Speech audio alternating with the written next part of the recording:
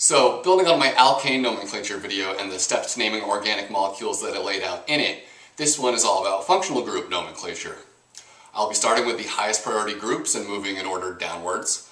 As I discuss how to name each, I'll be constructing a chart that makes it easy to compare their prefixes, suffixes, and relative priorities.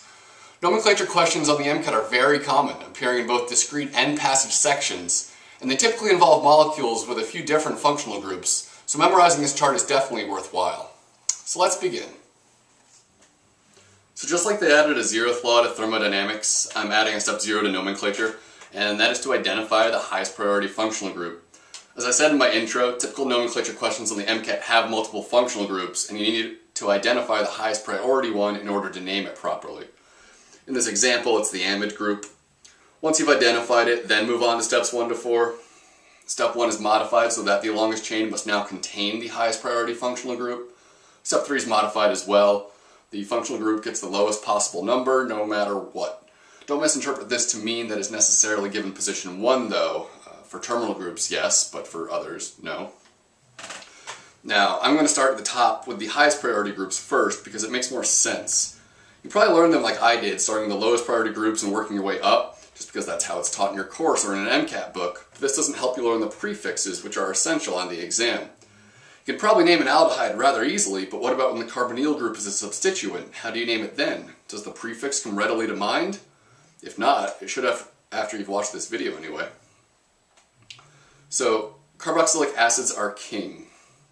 Since they are top dog, you don't need to learn any prefixes for them. And for the top groups in general, don't worry about the prefixes so much, just get the suffixes down. It's when we start to get towards the middle of the chart that paying attention to prefixes becomes important. Uh, anyways, carboxylic acids are named by adding the suffix oic acid onto the chain. This first example here is called hexanoic acid. Now what I'd recommend as you watch this video is to try to name the examples before I get to them.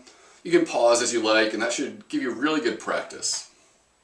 Now, carboxylic acids as terminal functional groups will be given position 1, which is why you don't need to name the first one 1-hexanoic acid, it's just assumed. This also makes the second example 4-methyl hexanoic acid. And finally, the third example is 5,6-dimethyl octanoic acid. Next up, we have esters, which are the first of three carboxylic acid derivatives on this chart. And the next two will be derivatives as well. Uh, and that's something good to remember for test day in case, in case you can't quite remember the exact order, is that carboxylic acid derivatives round out the top. Now, there are two parts to naming esters. The first is to name the substituent on the carboxyl oxygen, the single bonded oxygen, and then to add the suffix -oate onto the main chain, which makes the first example ethyl butanoate. Any substituents would then be sandwiched between this two-part name, making example 2 methyl 4,5-dimethyl hexanoate. Example 3 is a special case. When the main chain is a ring, the ester is named cyclo-whatever carboxylate, which means this one is propyl cyclohexane carboxylate. The way you get to this is, if example 3 were a carboxylic acid, it would be called cyclohexane carboxylic acid. So you chop off the ic acid part of the name, and then add the ester suffix, minus the O of course, to get carboxylate. You name the other derivatives this way as well if their main chain is a ring by chopping off ic acid or ilic acid and adding the suffix. Uh, that's something good to know on test day. Acyl halides come next. They are the most reactive of the carboxylic acid derivatives. You see them used in Friedel-Crafts acylation, for example. They're given the suffix oyl halide, which makes the first example propanoyl chloride. Their prefix is halocarbonyl, but again, don't worry about it too much. The second example is benzoyl bromide. And the last one is 4,5-dimethyl hexanoyl chloride. So that's it, pretty simple. Amides are pretty simple as well. You know these as peptides in biochem. The suffix amide is added to the main chain, making the first example propanamide. If there is a substituent attached to the amino group, you designate that as N-alkyl, so number two would be N-ethyl butanamide. And number three, the amide group does not take priority, so we name it as a substituent taking the prefix amido, which means the molecule is called 6-amido-hexanoic acid. Moving on to nitriles here's where you really want to start to focus on both the prefix and the suffix, and that goes for all of these middle of the chart groups, as you can really expect to see them in either capacity on the MCAT. Nitriles aren't super common in nomenclature questions. Uh, they're very strong nucleophiles, so you're more likely to see them in an SN1, SN2, or nucleophilic addition reaction on the test. Uh, so I only give two examples here. The first is propane nitrile, and the second is 4-cyanopentanoyl chloride as the acyl halide takes priority. Okay, aldehydes. They're named by adding the suffix al, so the first example is hexanal. They are terminal just like carboxylic acids, and as such, don't need a number to specify where the functional group is. Number two is a special case. When attached to a ring, they're given the suffix carbaldehyde, making this one cyclohexane carbaldehyde. Simple enough. And moving on to number three, aldehydes take the prefix oxo when attached to the main chain, but use the prefix formyl when not. Uh, so given that it's attached to the main chain here and the ester takes priority, example 3 is called ethyl 4-oxobutanoate. You do have to number the aldehyde when it is a substituent. Ketones are next. They are internal carbonyls and therefore don't get position 1 and are named with the suffix "-one", making the first example 2-pentanone. Now you'll notice that ketones have the same prefix as aldehydes, oxo. But keep in mind that due to being terminal, aldehydes are slightly more oxidized and do take priority over ketones. They're not tied. That makes the second example 4-oxohexanal. The last example here is something typical of what you might see on the MCAT. It looks complicated, but break it down into the steps and it becomes easy. So step zero, obviously it's an amide. Step one makes it propanamide. But how do you name and number the ring ketone for steps two and three? use the parentheses method. This makes the molecule 3 parentheses 2-oxocyclopentyl close parentheses propanamide. Moving on to alcohols and thiols. Alcohols take the prefix or take the suffix "-ol and can be named in two ways.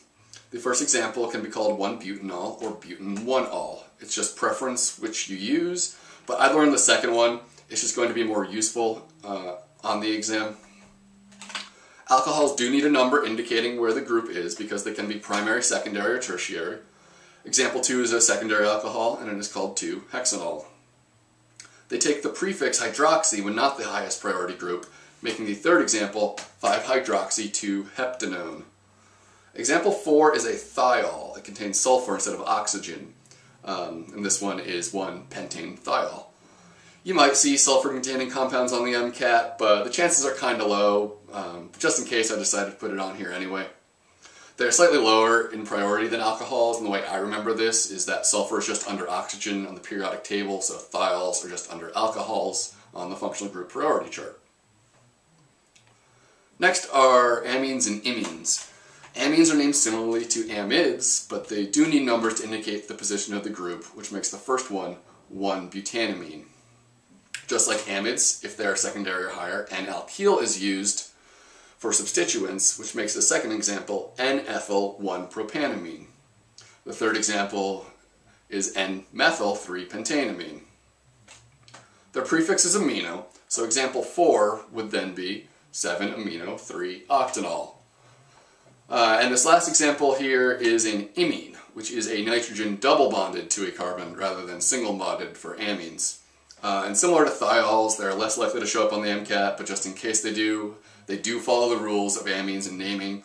Um, so this last example is 1-butane imine. Alkenes and alkynes are next up. Alkenes contain a carbon-carbon double bond and are given the suffix "-ene rather than "-ane". This first example here is therefore 2-butene, but that's not it. Remember, with alkenes, you must also indicate which isomer it is. Since the hydrogens are on opposite sides of the double bond, this is trans-2-butene. Example 2 is the opposite isomer, cis-2-butene, as both the hydrogens are on the same side of the double bond. Now, if those hydrogens are replaced by substituents, you call the isomers E or Z. If the higher priority substituents are on the same side of the bond, it is Z, and if they're on opposite, it is E. And the mnemonic for remembering this is Z, Zame, Zide. The higher the atomic number, the higher priority the substituent has for alkyl uh, chains. The longer the chain, the higher priority it has. This makes example 3 Z3-methyl-2-pentene and example 4 E3-methyl-2-pentene. For both cycloalkenes and alkynes, they're assumed to be at position 1, so numbers aren't needed to indicate that. The first example here is for methyl cyclohexene. Example 2 has an alkene with a hydroxyl group, which does take priority. It is therefore named trans 3-hexen-2-ol. Now you can see why I said learn the second of the two alcohol um, IUPAC nomenclature because it's going to be more useful on the test day because when it's paired with an alkene, it uses the same format. Uh, example 3 is named in a similar fashion as trans-3-heptanoic acid. And now onto alkynes. YNE replaces ANE, so the first example is 1-octyne. The second example is 7-methyl-3-octyne. The last example is both an alkene and an alkyne. Whichever group has the lowest number gets it, but when the same lowest number is achieved in either direction, like we have here, tie goes to the alkene, which makes this 2 nonen-7-yne. Now, alkanes, which I did in a previous video, go just under alkynes on our chart, so here they are. And from here on out, um, now at the bottom of the chart, none of these groups really has priority over another one. They're all just substituents, and on the MCAT, you really only need to know their prefixes because they are so far down. So ethers are really easy. They take the prefix alkoxy, which makes our first example methoxyethane. Example two is a substance you're familiar with. In lab, when you see a bottle labeled ether, that is actually diethyl ether or ethoxyethane under IUPAC nomenclature. Example 3 is another MCAT difficulty type molecule. It is Z 4-methoxy 4-hexanoic acid. And finally, I didn't put an example on here, but um, three-membered cyclic ethers are called epoxides or oxiranes. Onto alkyl halides, which are really easy as well. They take the prefix fluoro, chloro, bromo, or iodo, depending on which halogen it is. Uh, example 1 is 2-chlorobutane, and example 2 is 3-bromo-2-methylpentane. And lastly, we have nitro groups, which you see on aromatic rings and are named just as easily as alkyl halides. You place the prefix nitro before the parent hydrocarbon. So number one is nitrobenzene, and number two is TNT, or 2,4,6-trinitrotoluene under IUPAC. So that's it. Now, since nomenclature appears so often on the MCAT, memorizing this chart can net you a correct answer to a question rather easily, so I definitely do that. But say your nerves are causing you to forget, or you're having a tip of the tongue moment on test day, and you just can't recall this chart, what should you do? Well, you can recall the general trend here, which is that the more oxidized something is, that is, the more bonds to oxygen it has, the higher priority it is, and from that, you can make your best guess. And now, one last thing before we go to the questions. Uh, this is just something extra, but here's some useful common names to know.